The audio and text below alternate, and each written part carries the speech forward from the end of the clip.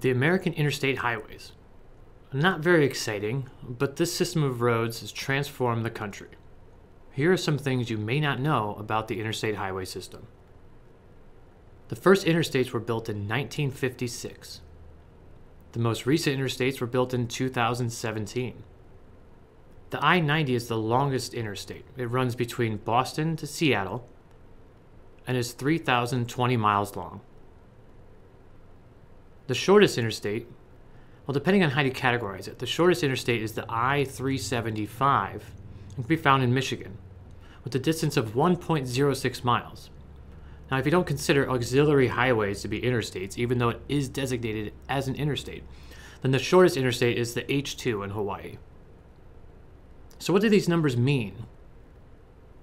You have even numbered interstates and you have odd numbered interstates. The even numbers run east and west, whereas the odd numbers run north and south. Now, did you know if the interstate numbers are divisible by 5, they represent major coast to coast or border to border highways? Have you taken a cross country road trip on one? Let us know. We'd love to hear about it.